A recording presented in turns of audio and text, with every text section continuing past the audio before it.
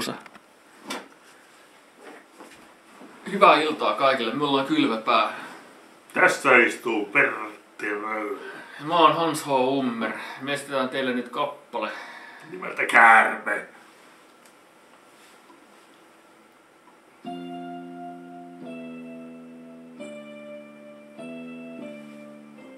Alkusoitto.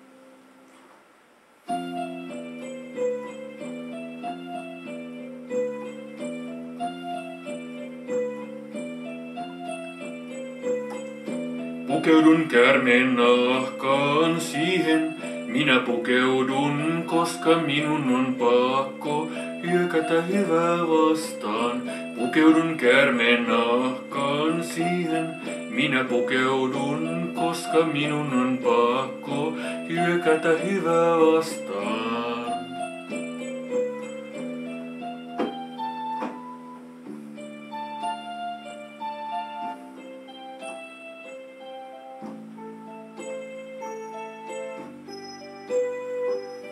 Luottamasi rakas, lierteisissä vaatteissa lähellesi liukuu. Varmaa on vain myrkky, mahlana se välittyy, läheltä purtuu. Tämä elämä ainoastaan sairaaksi saa ja oksentaa. Ihmisen täytyy itse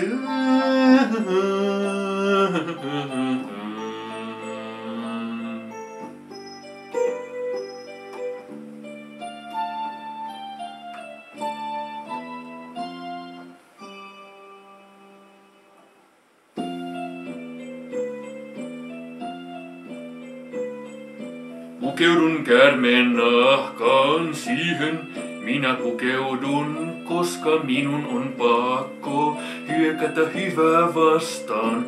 Pukeudun käärmeen nahkaan siihen, minä pukeudun, koska minun on pakko hyökätä hyvää vastaan.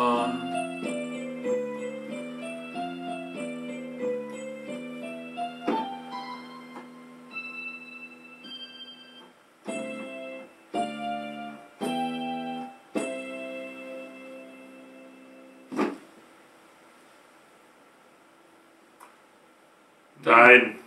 Tämmönen kappale. Toivottavasti Kyllä, turha toivoa. Se ei toivota mitään. ei mitään.